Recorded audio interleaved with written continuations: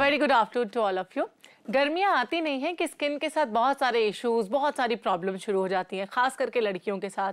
Skin tanning होना शुरू हो जाती है स्किन पर रैशेज हो जाते हैं रिंकल्स जल्दी पड़ने लगते हैं एजिंग जल्दी आने लगती है, और भी ऐसी काफ़ी सारे इश्यूज़ होते हैं जो हमारी स्किन के साथ होने लगती हैं। स्पेसिफिकली जब हम सन में बाहर निकलते हैं और गर्मी से हमारी स्किन झुलसने लगती है। तो क्या कर सकते हैं आप? कैसे अपनी स्किन की केयर कर सकते हैं? कैसे रख सकते हैं खूबसूरती के साथ अपनी खूबसूरत त्वचा, यानी कि अपनी खूबसूरत स्किन का ख्याल? इन शॉर्ट क्या टिप्स हो सकती है आपके लिए जो आपकी स्किन केयर के लिए अच्छी हो इन गर्मियों में ताकि आपकी स्किन जल्दी से झुलसे नहीं बिल्कुल फ्रेश हाइड्रेटेड और कूल फील करे। तो क्या टिप्स हो सकती है? इसके बारे में बात करेंगे अपनी नेचुरोपैथ पायल सिन्हा के साथ। पायल जी बहुत बहुत स्वागत है थैंक यू जैसे कि मैंने कहा पायल जी की काफ़ी सारी स्किन प्रॉब्लम्स हो जाती हैं। हम्म। सबसे बड़ी प्रॉब्लम है स्किन टैनिंग की। तो कैसे इससे बचा जाए? इट्स वेरी इंपॉर्टेंट बहुत सारे लोग सनस्क्रीन का इस्तेमाल करते हैं। हम्म। लेकिन मैं चाहती हूँ कि सनस्क्रीन अप्लाई करने के अलावा कुछ ऐसा नुस्खा या कुछ ऐसी रेमेडीज हम जाने जिससे कि सन टैनिंग हो ही ना। क्योंकि वेरी इंपॉर्टेंट है कि जो चीज़ जो प्रॉब्लम है उसे जड़ से खत्म किया जाए। हम्म। स्किन टैनिंग ना हो इसके लिए क्या किया जा सकता है? देखिए रीज़न ये है कि मेजोरिटी में ध्यान दीजिए आप जैसे क्लाइंट्स है हमारे सनस्क्रीन यूज़ कर रहे हैं बिल्कुल प्रॉपर सिंसियरली यूज़ कर रहे हैं। और करने के बावजूद भी वो प्रॉपर टेन भी दिख रहे हैं। तो why what's the reason behind this reason के बारे में बात करेंगे और जानेंगे कि क्या रेमेडी हो सकती है उससे पहले अपेक्षा से बात करते हैं जिन्होंने यूके से हमें कॉल किया है। जी अपेक्षा वेरी गुड आफ्टरनून क्या पूछेंगे आप?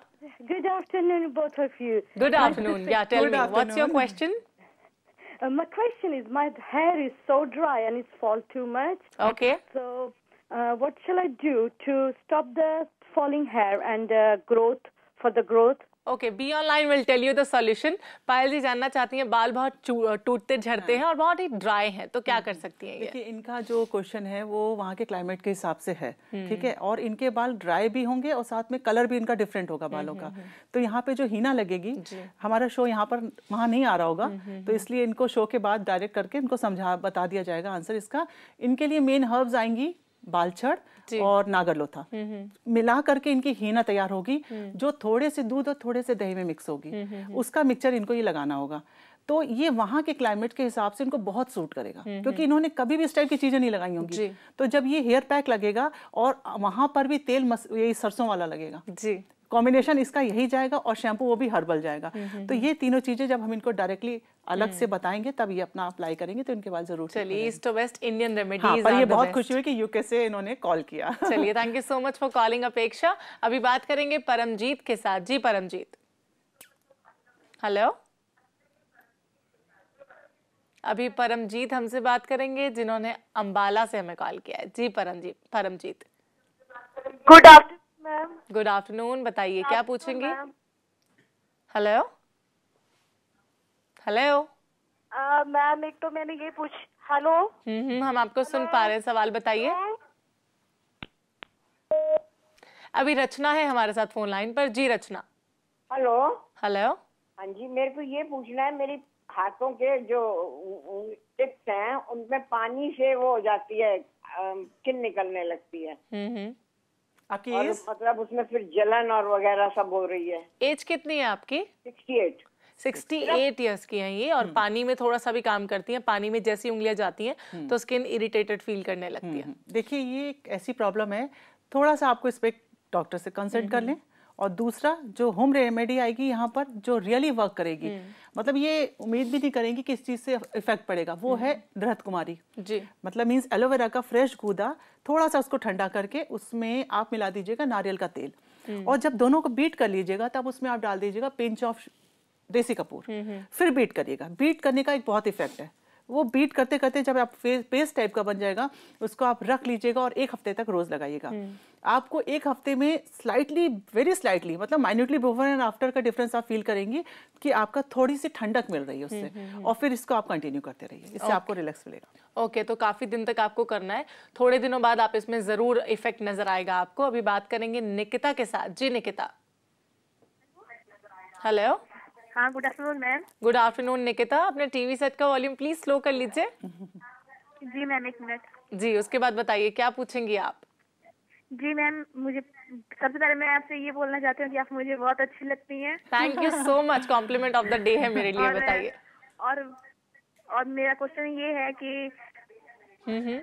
मेरा क्वेश्चन ये है कि गर्मी में हम लोग के अपर लिप्स पर बहुत फट जाते हैं ब्लैक हो जाते हैं और फट जाते हैं एकदम और. चुभने लगते हैं। ओके अपर लिप बहुत ब्लैक पड़ अपर जाते लिप्स हैं। थ्रेड कराते हैं कि कटोरी वैक्स कराते हो निकिता? और सेकंड क्वेश्चन हेलो लगता है इन तक हमारी आवाज़ नहीं जा रही है ठीक निकिता से। आप कटोरी वैक्स कराते हो कि सिंपल वैक्स कराते हो?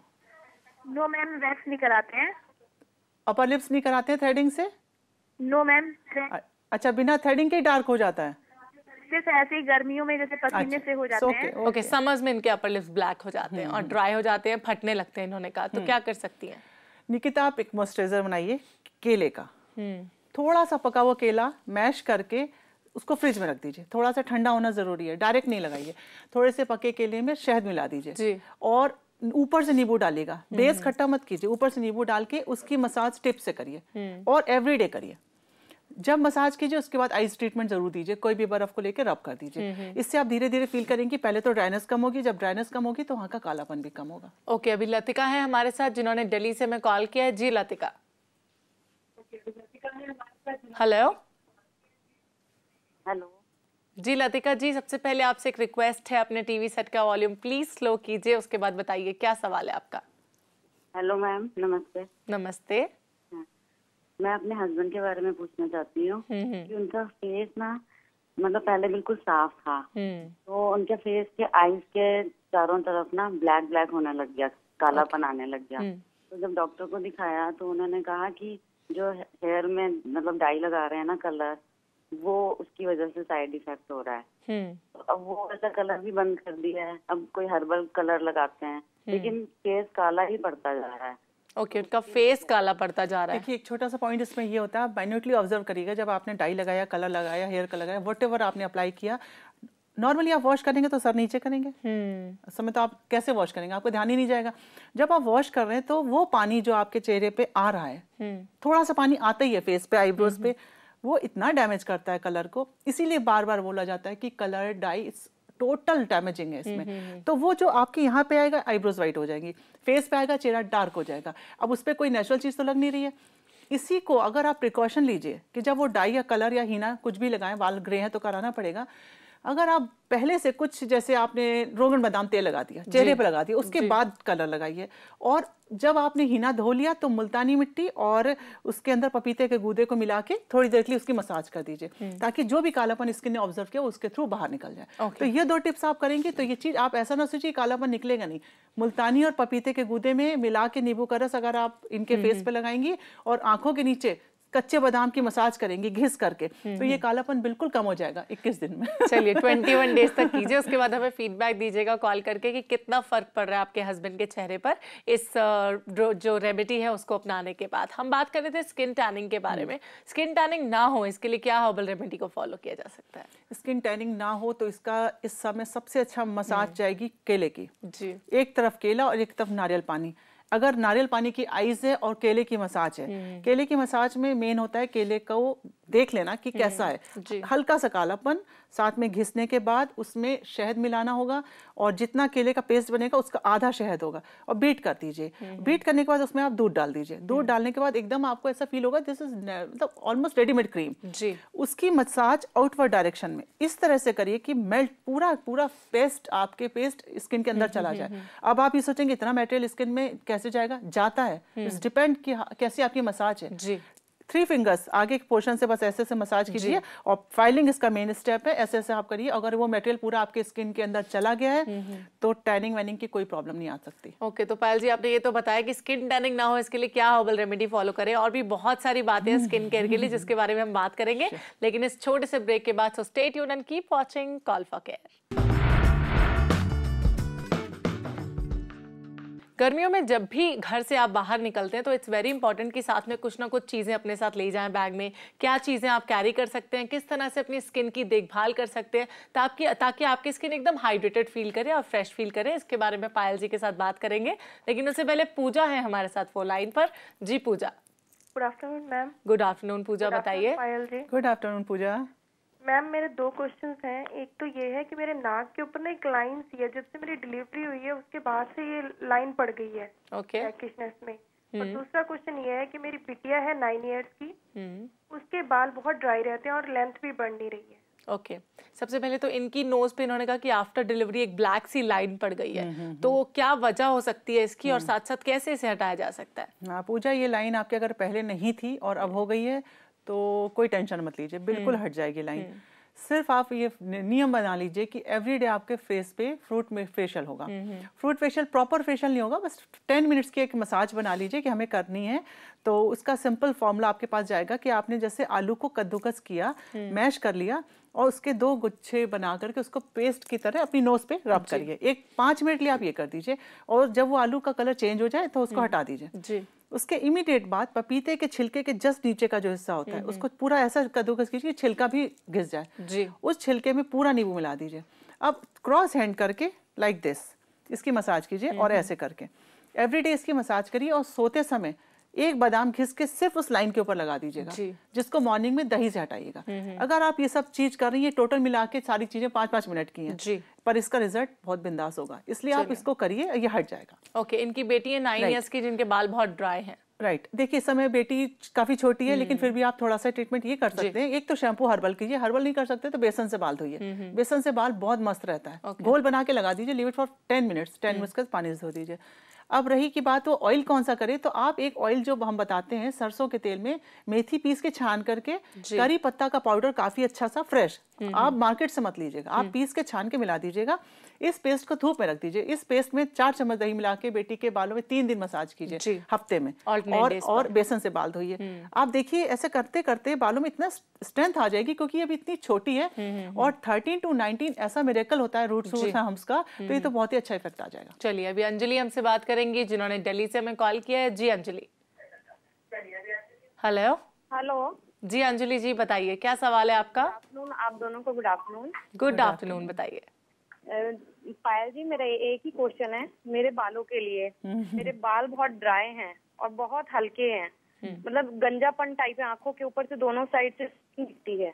ऐसा क्यों ऐसा क्यों आपने ऐसा कुछ हुआ है कि ग्रोथ ही बाय नेचुरल ऐसे ही है? नहीं ऐसा कुछ नहीं है लेकिन मेरी एज थर्टी फाइव है डिलीवरी के बाद धीरे धीरे बाल कम होते गए हैं। ओके डिलीवरी के बाद बाल इनके कम हो गए हैं तो क्या कर सकती हैं बालों में वॉल्यूम लाने के लिए और उनका ड्राइनेस कम करने के लिए? देखिए कोई बात नहीं जब जागे तब सवेरा है कि नहीं? अभी तक कोई केयर नहीं हुई होगी। लगी अपनी घर गृहस्थी में बच्चे में सब चीज़ें इनकी ऐसे होते होते धीरे धीरे वो डैमेज बढ़ता चला गया। अब आपको बैक पे ध्यान गया तो आप अभी भी अगर आपके सिर पे बाल हैं जी। और अगर आपने उस पर कलर लगा लिया तो कल को कलर लगाने के लिए भी तो बाल चाहिए फिर वो बाल नहीं बचेंगे। जी। इसलिए आप टोटल टोटल हर्बल पे आ जाइए। हर्बल में आपको भ्रंगराज पाउडर मंगाइए। बादाम के तेल में फेंट लीजिए उसकी। और बहुत सॉफ्ट हैंड से मसाज कीजिए हफ़्ते में तीन बार। ठीक है एक मसाज आपकी ये हो गई। और अगर आप फील करती है कंफर्टेबल तो मोटे आमले को पीस करके उतनी मेहंदी में मिला के हफ़्ते में दो बार लगाइए। और पानी मत डालिए इसमें दही से घोलिएगा इसको। एक तरफ़ आपने ये भ्रंगराज लगाया एक तरफ़ आपने वाली मेहंदी लगाई और मेहंदी का जब धोएँगे तो पानी ना डालें। तो इससे आपको इंस्टेंट तो थोड़ा सा कोटिंग हो जाएगी बालों पे। जो आप फील कर रही पैच आ रहा है वो चीज़ आपका कवर होने लगेगा। पर मिनिमम इसको मिनिमम वन मंथ तक कंटिन्यू करिएगा। Four henna in one month and twelve oilings in one month जी। अभी एक और कॉलर है हमसे मोनिका बात करेंगे इस वक्त। जी मोनिका। Hello hello Monika? जी मैम मेरे गर्मी के मौसम में मैम फेस पे पिंपल निकल आते हैं और मैम आँख के नीचे ब्लैक हेड्स बहुत ज़्यादा हैं। ओके। आँख के नीचे नाक के नीचे इनको कुछ आपकी आँखों के नीचे ब्लैक हेड्स हैं आपकी नाक के पास ब्लैक हेड्स है? नो मैम ब्लैक सर्कल है आँख के नीचे और under under eye not heads black okay मुझे भी ऐसा लगा कि ये ब्लैक हेड्स के बारे में बात करिए तो क्या कर सकती है इस प्रॉब्लम से निजात पाने के लिए? देखिए आपका ये जो है एक सेब को छोटे वाले सेब को पानी में उबाल करके मैश कर लीजिए और उसको ठंडा कर लीजिए। छिलका उसका ज़रूर घिस दीजिएगा उसके अंदर। उसके बाद एक लेप आप लगाइए तुलसी की पत्ती में नींबू का रस मिला के पूरे चेहरे को ग्रीन कर दीजिए। ठीक है? आपके पिंपल्स वाली प्रॉब्लम है। उसके ऊपर सेब रख दीजिए और टिश्यू पेपर से ढांक दीजिए। आधे घंटे बाद सब चीज़ रब करके धो दीजिए। इट्स ओवर एक मसाज आपकी सिर्फ़ यही आएगी। कोई क्रीम कोई मॉइस्चराइजर बाज़ार का नहीं नथिंग एल्स एंड ये जो इनको सोप यहाँ पे बहुत वर्क करेगा नीम पुदीना तुलसी इक्वल क्वांटिटी लाल चंदन एंड सफ़ेद मुल्तानी। इसको मिक्स कर दीजिए। लास्ट में नींबू एक डाल दीजिए। एक तड़का लगाते हैं ना एक नींबू डाल दीजिए। बीट करिए फुल नाइट रख दीजिए। नेक्स्ट मॉर्निंग अब एक साबुन बन जाएगा। उस साबुन का आप ऐसे से रब कीजिए फिर अगेन उसको रख दीजिए उसमें। पर वो सोप कवर ज़रूर होना चाहिए खुला ना रहे। इस सोप को आप एवरी डे कम से कम तीन बार इसे चेहरा धोइए और फिर देखिए। ओके चलिए फिर देखिए कैसे आपकी जो चेहरा है वो बिंदास हो जाता है गर्मियों के मौसम में भी। और किस तरह से आप अपने स्किन की केयर कर सकते हैं किन चीज़ों को अपने साथ ले जा सकते हैं गर्मी में जब आप बाहर निकलें इसके बारे में बात करेंगे। लेकिन इस छोटे से ब्रेक के बाद तो कहीं मत जाइए देखते रहिए प्रज्ञा जो आपको मिला है बेहतर आपसे।